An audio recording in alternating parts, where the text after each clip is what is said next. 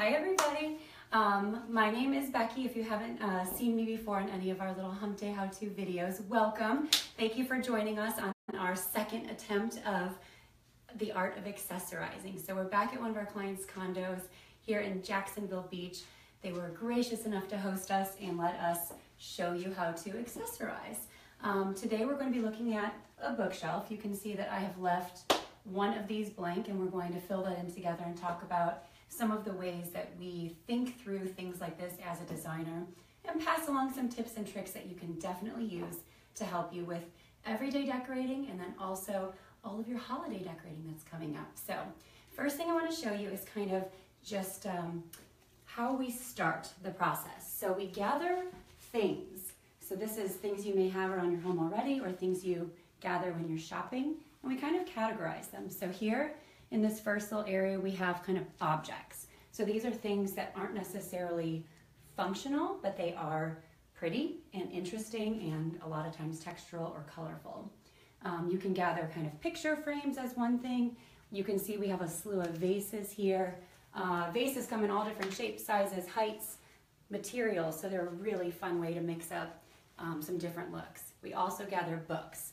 So now books will become one of your new best friends when you're accessorizing a bookshelf or just accessorizing throughout your house. I'm not talking about your paperback John Grisham novels. I'm talking about hardback, pretty coffee table books. Now some of these we have found from kind of resale stores and things like that, perhaps even Goodwill. So you don't need to spend a fortune on beautiful coffee table books. Definitely have a few of those, and if they are going to be on the coffee table, pick some interesting ones that you like. But the ones for your bookshelves, just take those old covers off of your hardback books. Do not leave the covers on, that is not attractive. If we're talking about decorating, we're talking about making it pretty. So take those covers off, look at the spines. The older the better, um, keep it interesting. So you can see we have a stack here already, and these are just kind of random books that help add height to our display. So that is one of the things we're looking to do. Not only stack them up like you would see in a library, we're talking about using these as a functional accessory in our display here. So we need a little bit of height, we add some books. Um, you can see it also adds color and a little bit of interest as well. I'm going to show you kind of where we started on this one. We found this amazing piece of driftwood. So we added that to the top of this bookshelf to give it a little more height and a lot of interest. It also is very uh, relevant to our theme. We're here in Jacksonville Beach. This is something that is related to the coast and actually found here. So um, you can see we've done more of a coastal theme in this entire condo. So a lot of these things are related to something our client loves. It's related to our local area. So you can kind of pick a theme or you can just pick things that are personal to you um, and that you find beautiful. The next thing we added up here was a glass vase. This kind of um, does a couple of things for us. It balances the shelf in general because we have a lot of uh, stuff going on over here, so this adds a little bit of interest to this side. It also provides a really good contrast of materials. So you can see our natural wood with kind of our clear blue glass. So it really provides an interesting mix of materials. You can see what we did down here was balance the top with what we have going on down here. So we have some other blue glass down here along with a smaller piece of driftwood. So you really provide a nice balance and harmony between what we have on the top and what we have on the bottom. So your eye kind of starts down here and goes up there or vice versa. But one of the things you want to do is keep it interesting so that your eye kind of moves around the space without necessarily getting stuck somewhere.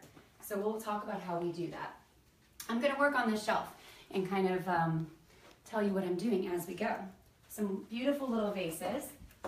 Now one thing I'll tell you is if you are someone that has a lot of smaller items and collect little tchotchkes and things like that, they are more powerful in a group. So limit the number of small collections that you have, but if you have pieces that coordinate together, anytime you group them together, they provide more power and strength in numbers to a certain extent.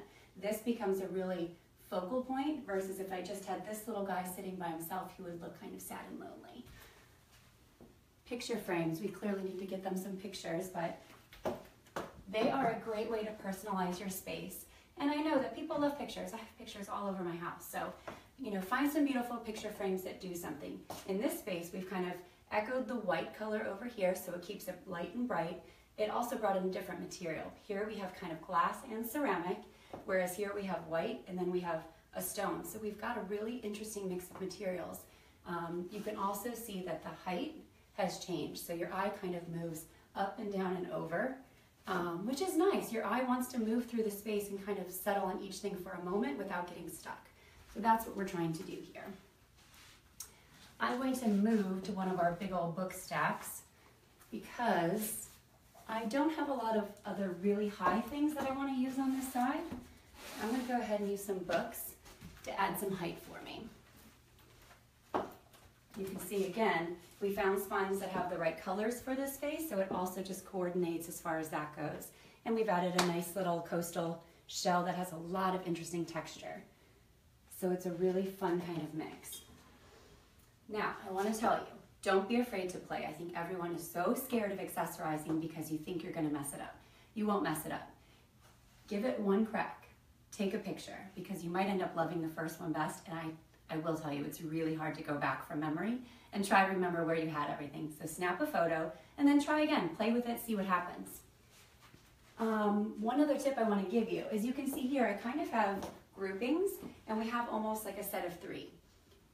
If you see on the next shelf, I did not repeat the same thing, so I don't have three across. If you did three groupings of things across on every shelf, it would look way too consistent and kind of heavy in those areas without looking like there's any flow between the shelves.